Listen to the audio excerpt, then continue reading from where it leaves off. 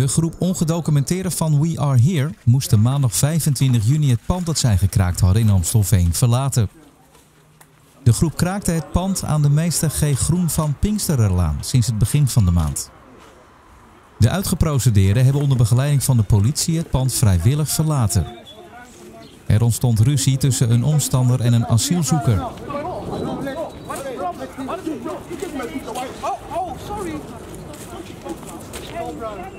Daarna was de rust weer teruggekeerd. Later die middag zijn de uitgeprocedeerden naar de nachtopvang in de voormalige gevangenis in de Havenstraat in Amsterdam gegaan.